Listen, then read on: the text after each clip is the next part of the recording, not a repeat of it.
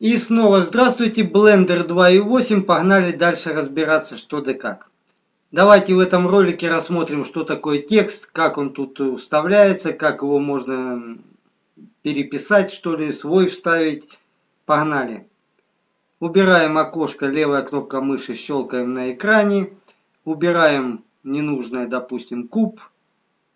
И жмем Delete на клавиатуре. Следом Shift-A Заходим и жмем текст. Нажимаем текст. Вот высвечивается он установился. Теперь можно его немножко перекрутить. Используя, можно клавишу R. Вот так вот вертеть его. И можно использовать вот эти вот клавиши Move, ротация и трансформ. Давайте трансформом все это дело перекрутим. И немножко установим вот так вот. Убираем гизмо. Смотрим, как тут установилось. Вот единственное, не понимаю, почему надо, наверное, в настройках полазить. Почему именно гизмо неровно ведет по оси. По оси.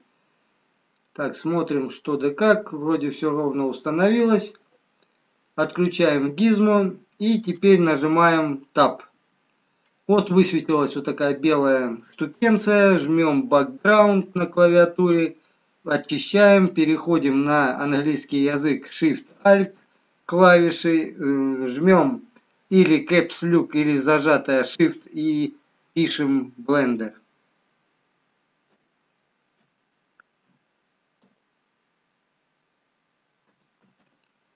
Все, блендер написан. Теперь нужно немножко, опять же, нажимаем Tab, убираем вот этот курсор.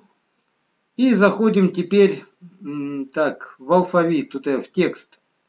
Контекст называется буква А. Нажимаем на нее. И теперь нужно здесь вот именно поработать с текстом.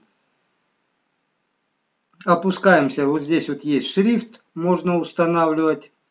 Э, так, геометрия экструзия ставим, нажимаем на нее и жмем 0, 100. 0 и U нажимаем, это точка, русская U, это точка, и жмем 100. Жмем Enter.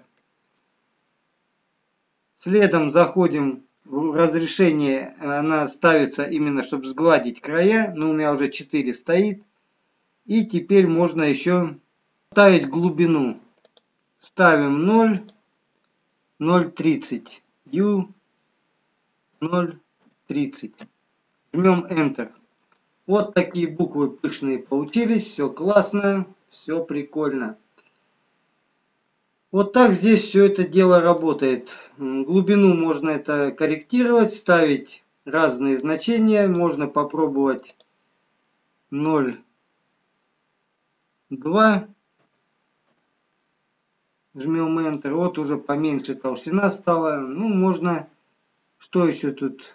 Смещение регулировать, абзац, шрифт, интервалы. Вот можно поставить между межбуквенные интервалы.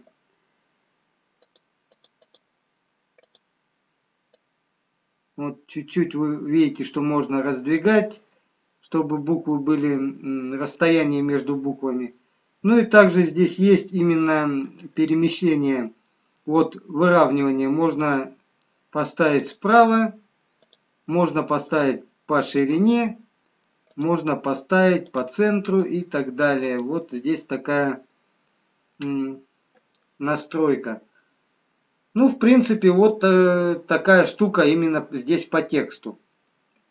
Опять же, передвигать можно вот с помощью мов вверх, в бок. Также можно перекручивать. Ну, это для каких целей именно эти буквы нужны. Снимаем выделение. Вот такой вот получается блендер. Вот ZBrush 2019. Давайте подгрузим этот текст в Blender. Посмотрим, как он будет выглядеть после блендера в ZBrush. И потом посмотрим, как это все дело сделать именно в ZBrush. Вставить текст.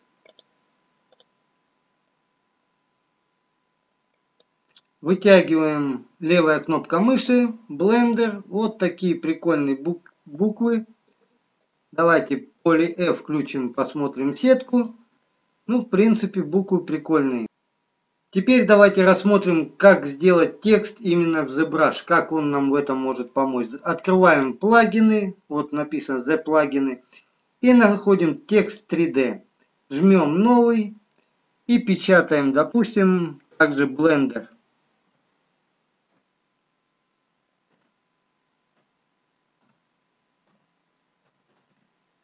И жмем Enter. Сейчас программа считает, и вот она уже подгружает, все будет видно. Вот такие буквы получились. Теперь жмем Ctrl-D.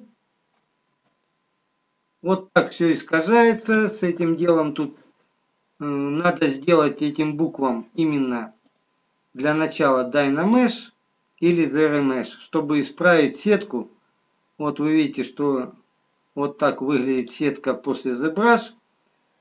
Так, включим MOV. Подтянем за квадратик. Уменьшим до объема букв из блендера. И вот так все это дело опустим вниз. Следом Alt, левая кнопка мыши, и можно будет это все дело вот так вот приблизить. Вот так все это выглядит. И с буквами здесь можно еще как работать? С помощью гизмо. Их можно сделать плоскими. Можно их вот так вот сделать сплюснутыми, вытянутыми. Вот в этом есть кайф. Ну и посмотрим. Теперь сделать надо именно Zero Mesh. Geometry или Dynamesh. Жмем резолюцию чуть побольше и Dynamesh. Все, вот теперь с буквами можно работать, их можно надувать. Это заходим в деформацию и делаем инфлатен. И вот теперь у нас буквы выглядят вот так вот прикольно. Теперь можно сделать Ctrl-D, добавить им дивайдов, убрать MOV на драфт нажать. Вот такая штукенция. Буквы выглядят, конечно, по-разному, но после обработки и доработки, в принципе, будет неплохо. Вот такие возможности Blender и возможность ZBrush. Все, всем пока, до свидания. Ссылки на то, как делать буквы в ZBrush я кину именно под этим роликом. Пока.